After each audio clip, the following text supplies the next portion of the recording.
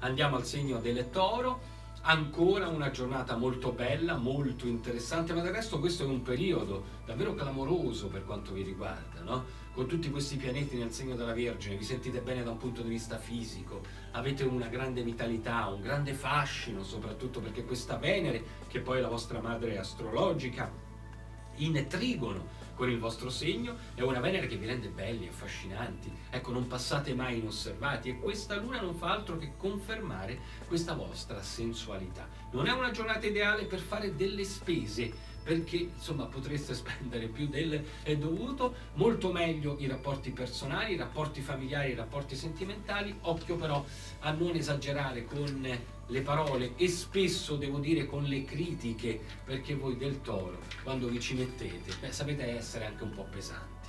Andiamo al segno dei